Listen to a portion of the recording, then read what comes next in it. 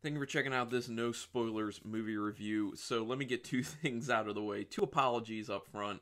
One, I apologize if you end up hearing some people mowing the lawn in the background. Uh, hopefully that doesn't get picked up, but this is what happens when you live in a townhouse and you're making videos. Uh, the other thing is, uh, I'm going to try to get my energy level to where I usually am, but I have to apologize. It might not be there. I'm kind of battling something at the moment, and um, my voice may also sound kind of different because of that. But let's move ahead and see how well I can do things. Reviewing Humanoids from the Deep, which is a 1980 film done by uh, Roger Corman Production Company, directed by Barbara Peeters. And when I'm reviewing this, it is currently it is streaming on the Shudder horror streaming service. So first of all, something for people to know if you haven't seen this movie and you're watching this review, it is a Roger Corman production. Now, if you're not familiar with Roger Corman, he does a lot of kind of like low budget, not really like good movies, but there's inspiration to him and they made enough money. I mean, he's like 94 right now and he's still making movies like this. Um, I think one of the ones that was more recent ish that uh, actually caused some waves that people were into, but was like a bad movie, but like fun bad was Sharktopus. So he's still doing it. He's still making these things happen. Uh, and Humanoids from the Deep, when you watch it, I mean, going in, if you know it's a Corman film, you should know it's going to be like not a good film. So I'm going to have two different star ratings at the end of this one for an actual like overall film star rating and one for like a bad, a fun bad movie rating. So that's what I have to do with these types of films. So anyway, like I said, it was directed by Barbara Peeters, but it was originally offered to Joe Dante, and I'm assuming that one of the reasons that was the case is because uh, this was in 1980. In 1978, Joe Dante did um, Piranha. Well, that's when it was released, at, least.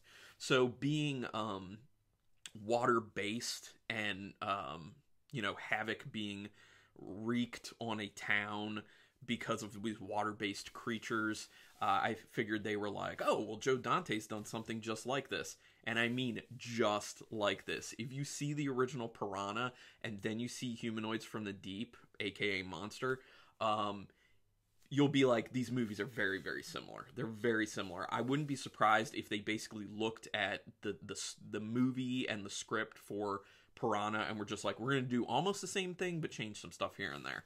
Which, you know, like lower budget films, independent, they do that. Um, so this was this film was released in Europe and Japan as the movie Monster. So in the United States it was Humanoids from the Deep, in Japan and Europe it was called Monster. So when I was watching the version that they have on Shudder, it says monster and then under it in parentheses says humanoids from the deep which is really really small and i was kind of like had to get closer to the screen and strain my eyes to see that i was like whoa my, you know i should probably wear glasses but you know um, but the working title when they were doing the film was called Beneath the Darkness, just so you all know. Interesting information. Uh, Roger Corman was actually uncredited on this as the executive producer, but he was. Uh, and then they do a remake of this. This is funny because I you would see this film and be like, "This does not merit a remake." A remake of this was actually done in 1996 by Roger Corman's company. So he was just like, man, you know what I really liked? Humanoids from the Deep. You want to remake that? It was only 16 years prior, but go ahead. Um, so there was actually some controversy surrounding this film. Uh, it had to do with the actual production of it. So, like I said, Barbara Peeters directed it, and when she directed it, like there there were supposed to be some uh, creature rape scenes on women because the whole tagline is like, you know, when I say no spoilers in this, like there are spoilers in the sense of whatever's in kind of like the log line or the synopsis for the film. Oh, let me fix my my um yeah. There we go. A little bit. I don't know. Sorry. But um so that's actually in the synopsis what I'm what I'm going to say. So the the whole thing is these creatures from the from the deep, these humanoids from the deep, uh, they kill the men and then they rape the women. So there were supposed to be uh, these creature rape scenes in the film. Now, when Barbara shot these uh, she it was very shadowy, it was very dark because she didn't want to show it super graphically. And so I guess Corman didn't really like that, so he had a, another director go in after the fact, after the film was completed, and reshoot those rape scenes. And the guy who did it was James Sbardellati. Never even heard of this guy. So he reshot that. Now, a lot of the people who were involved in the film didn't know that that was going on. So when it was found out, people like Barbara Peeters, the director, and uh, Anne Turley, yeah, Anne Turley, one of the main actresses in the film, said, uh, I'm not cool with this. I want my name now taken off of this. But Corman and his company refused and were just like, no. So, against their own will, their names are still tied to this film. Now, I will say, having seen it, um, two things. Like, I don't think the rape scenes are as messed up and graphic as doing this research would make it seem before I was watching the film. But at the same time, the rape scenes actually don't really add much of anything either. So they easily could have just stuck with whatever the, the more shadowy, um, less graphic versions were, and it would have been totally fine. My only assumption is they went with the more graphic version because they wanted nudity. They wanted to be more lurid. You know, it was 1980. In the 80s, 70s, horror film was going for a lot of like more lurid things, more sexual things. So that's just my thought on it. But watching it, I was just like, it doesn't really add anything, so it doesn't even need to be there. So I don't know. You make a decision on how you feel about it. Okay, so the town in this movie actually reminded me a lot of the town that you see in the film Dead and Buried, which I forget what director did Dead and Buried, but I did a review for it on this channel. Go look look for it. Um, also, no spoilers. All my reviews are no spoilers. But that movie was fun. That was a good time. I actually definitely enjoyed Dead and Buried more than uh, Humanoids from the Deep. Uh, just saying. So the beginning of it's really really hokey. Uh, it kind of starts relatively fast with the actual action to kind of like pull you in. Makes sense. A lot of the the lower budget films feel like they have to do that, get the gore out there, get the creature out there, let people know something's very awry immediately, and um, then they kind of back off a little bit and then build things back up, and then things get crazy eventually. And this kind of follows that. Uh, there, there's a lot. There's a large theme in this of fear of industrialization. So like companies coming into smaller towns saying, "Oh, we're going to make these changes. We're going to start doing this. We got this technical technological advancement that's basically going to make you obsolete what you're doing now for a job, but somehow we're going to create jobs."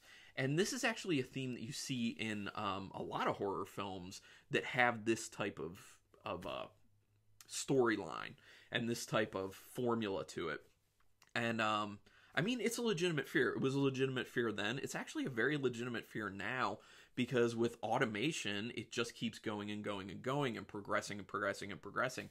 So I'm kind of surprised we're not seeing a lot more of that type of theme showing up in horror again, but give it time, you know, these these things like trends tend to recycle themselves, so it's quite possible that that's going to happen again.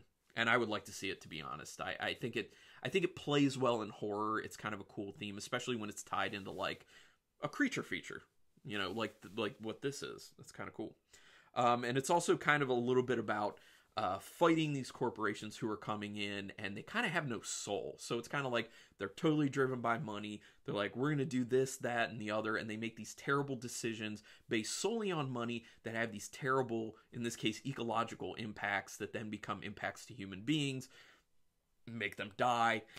And then it's this big fight against these people to say hey you know not only are you coming in and changing things uh, changing our way of life which we don't like you're taking our jobs away. And now in horror movies you're taking it to the crazy level of it's killing us basically.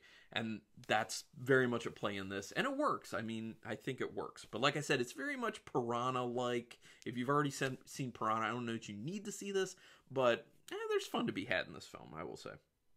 The acting's bad. Um, it's not the worst, but it's also, if you think about low budget horror in 1980, you probably have a good idea going into it what it's going to be a kind of like. So you know. Um, you can see actually some Jaws elements in this film, which is important to also note. You know, Piranha was in 1978, Jaws was in 1975. So five years prior, you have Jaws. Then three years after that, you have Piranha. Then two years after that, you have Humanoids from the Deep. So obviously, Humanoids from the Deep is very heavily uh, leaning on what it's seen in Piranha, but also what it's seen in Jaws. And I'm sure Piranha was heavily leaning on what it saw in Jaws. So it's kind of this you know there's there's a horror film you see it a lot there's a horror film that has a huge impact it's very popular and then other people keep taking parts of that or taking large chunks of that and making their own version uh, but just changing it a little bit and trying to make money off of that So, humanoids from the deep, and actually, it's funny because if you think about it that way, it's like Jaws, Piranha, humanoids from the deep. It decreases in quality and interest. Basically, it's like Jaws was really good, Piranha was actually pretty solid, and humanoids from the deep is not really good, but kind of fun. So, but that's how it usually goes. Uh, practical effects actually don't look too bad in this. I want to say that from the standpoint of the kills in the film. Um, they're they're relatively quick. They they don't have a whole lot of detail, but for what they are, they don't look that bad. And I was actually kind of impressed with that. Uh, the other thing is the the creatures themselves. For a lower budget 1980s creature feature like this, you know, something from the deep, um, think about what you would expect based off what I just said and think maybe slightly better than what your expectation would be. It's not great. They don't look great, but they don't look terrible either. There are some uh, elements of the design of the creatures that are kind of funny and weird and don't don't play all that well, but there are some aspects that kind of do play well, and they always look like shiny and wet and like slimy, which I think that always plays well, especially with like sea creatures. So I like that aspect of it.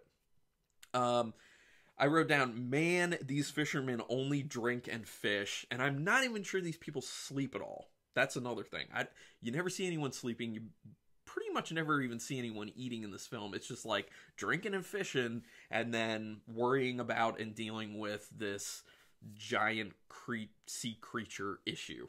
That's pretty much it. I just found that kind of funny. The scientific examination scene, which there always has to be one in these types of films, that gets actually pretty funny. I really did enjoy that scene. The um, the dialogue within it is particularly what's good about it. So if you haven't watched it, just wait for that scene. It's really good. If you have watched it, you know what I'm talking about. Put some comments down there. Let me know your thoughts. And then the last thing I put down is that the, the end of it is by far the best portion of this film. It does have a, a relatively good payoff at the end with the salmon festival in this town, which, not a spoiler because it's in the synopsis of it up front. Um, yeah, things get crazy. It kind of seems like maybe they go too far and it, it goes on for too long. But man, I just remember watching that scene and just being like, uh, they set up a lot of stuff in the scene to knock it down and destroy it, basically. But it's like mass chaos, total havoc.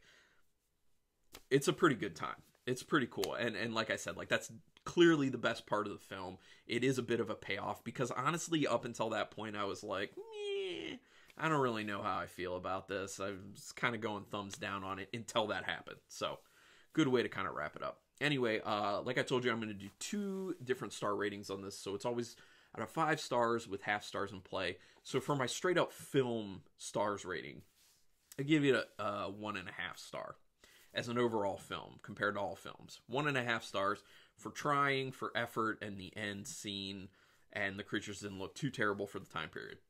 Now, for like fun bad movie ratings, I'm going to give it a three I would have given it a two and a half if it weren't for the last like 10 minutes of the film.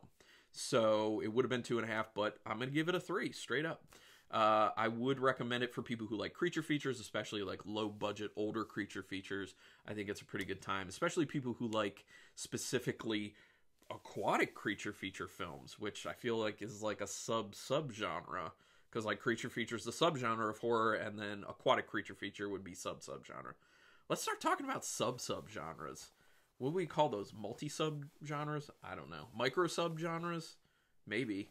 I don't know. Let's uh let's talk down here just about the film in general, uh, or whatever you want to talk about. Um, please do me a quick favor, hit that subscribe. It really does help my channel out, and I really appreciate it. It also motivates me to keep these things going and keep them good because I feel like I'm doing a solid job.